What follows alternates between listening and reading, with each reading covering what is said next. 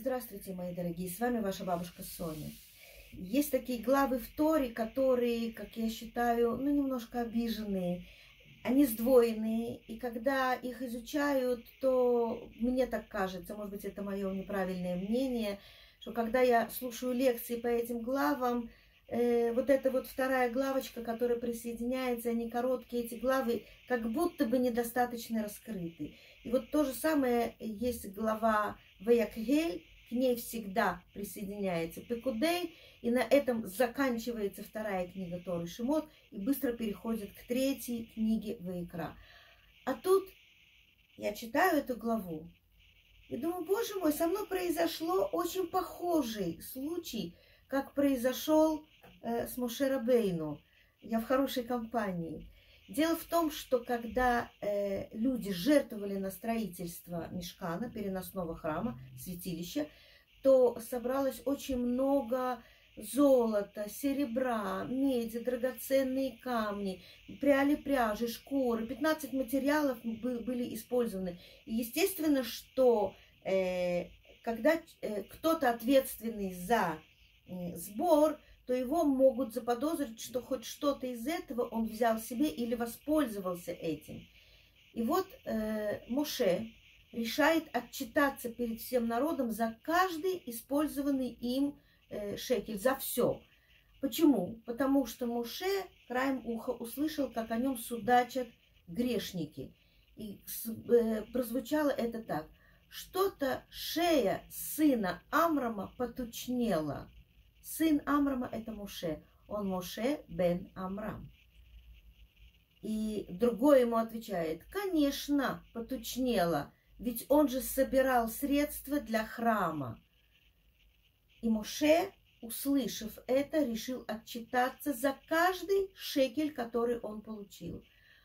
И тогда получается, что он э, перед всеми сынами Израиля отчитывается по спискам за каждый, э, за каждый материал, который он получил, сколько было э, талантов золота, сколько было серебра. И вдруг Панчер, он не помнил, куда ушли 1775 э, шекелей серебра, монет. И как он не пытался вспомнить, он не мог вспомнить Тимуше. Представьте себе, он хочет отчитаться. И вдруг где-то не хватает, э, он не может вспомнить, на что это шло. Представьте себе бухгалтера, к которому пришла комиссия, а если это еще из ОБХСС или какая-то ревизия, и у бухгалтера что-то не сходится, причем не сходится на 1775 э, рублей, шекелей, долларов, что угодно. Тут э, можно вспотеть, покрыться испариной и уже, и уже думать, так, пора сушить сухари.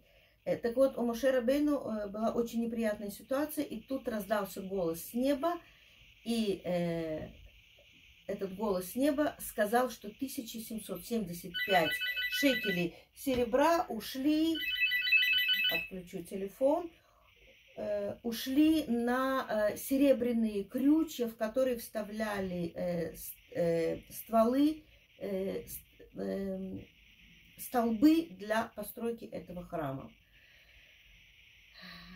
Тора нам говорит, э, что даже если человек честный, даже если человек э, пользуется доверием, он все равно обязан дать отчет, если он владеет общественными деньгами.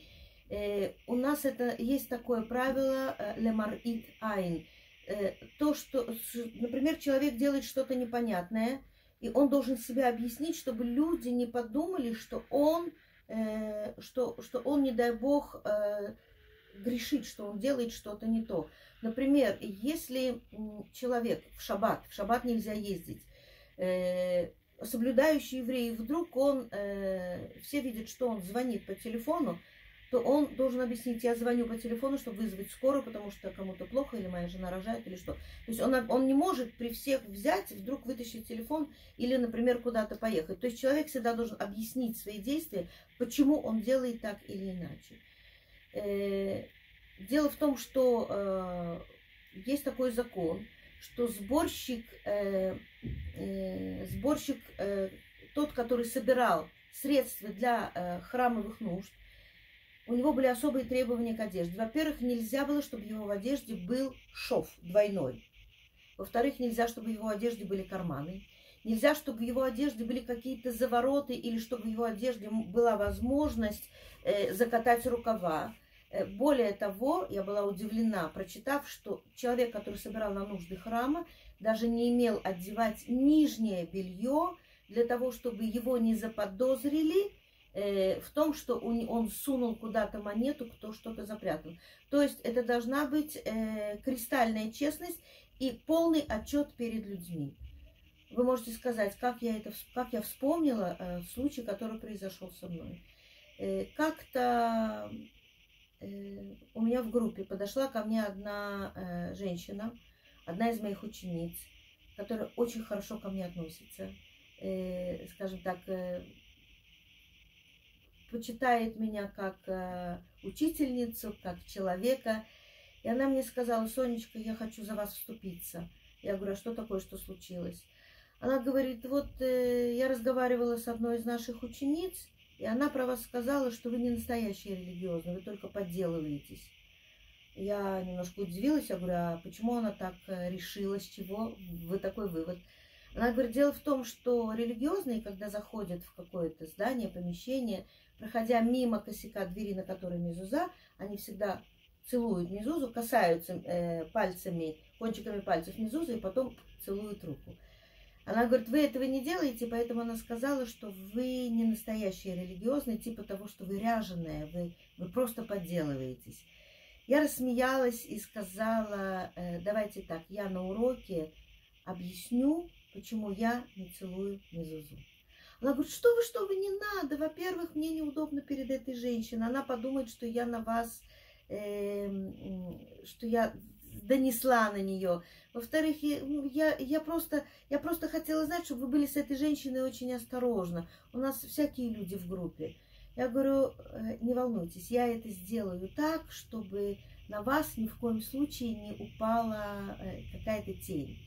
И вот э, я подождала около двух-трех недель и завела разговор о том, что такое мезуза, ее значение, как важно проверять мезузы каждые три с половиной года, э, как мезуза может испортиться. Рассказала, привела пример э, знакомые мне, что, что было у людей, когда начинались какие-то неприятности, и нужно было проверять, проверяли мезузу, и выяснялось, что там мезуза не в порядке, а мезуза это э, та самая охра, охрана, которая охраняет жилище любого еврея.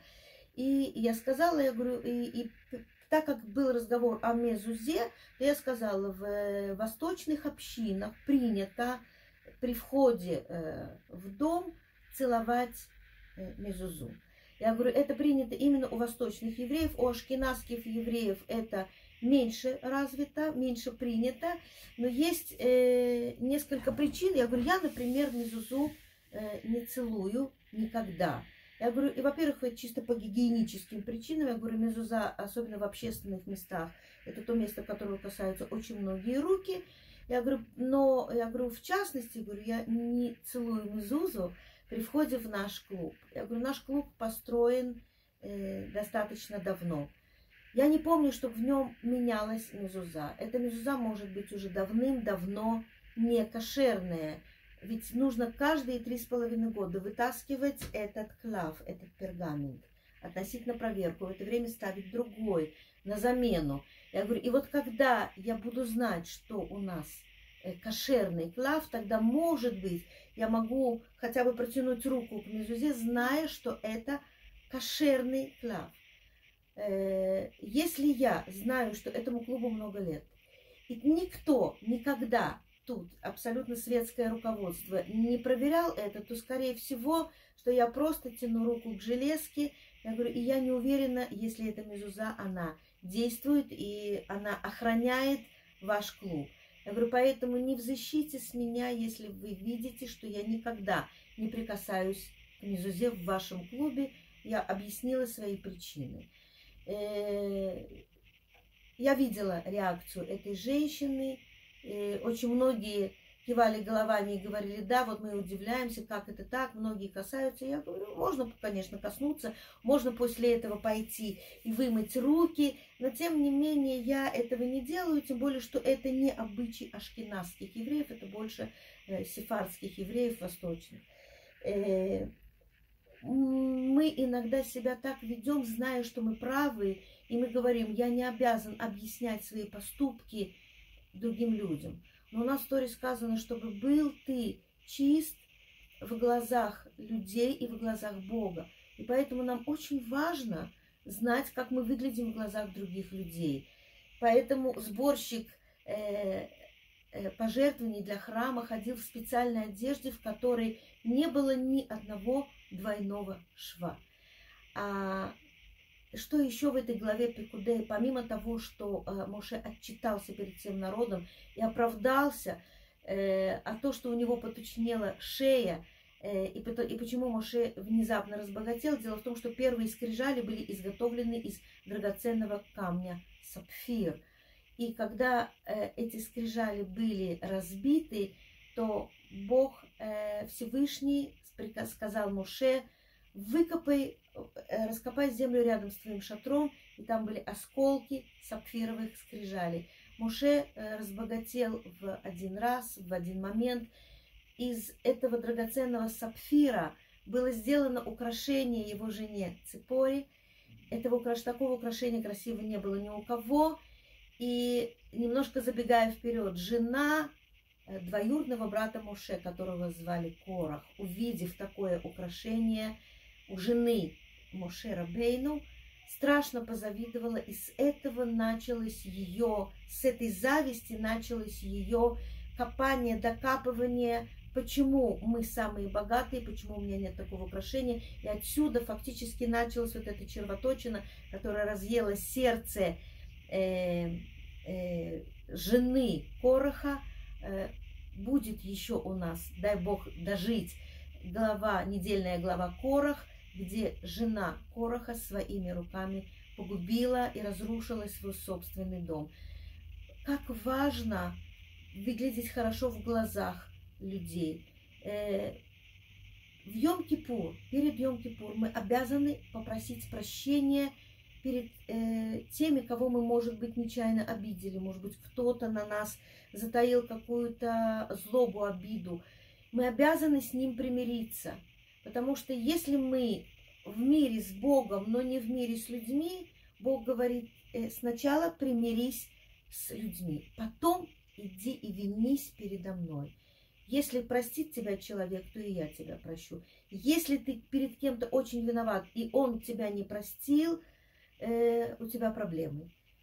Так вот, как важно быть в мире друг с другом, как важно иногда не молчать, а объяснять себя, объяснять свои поступки. Да, важно отчитываться перед другими, да, важно объяснять свое поведение, да, очень важно выглядеть хорошо в глазах других людей. Это не менее важно, чем выглядеть в глазах Всевышнего.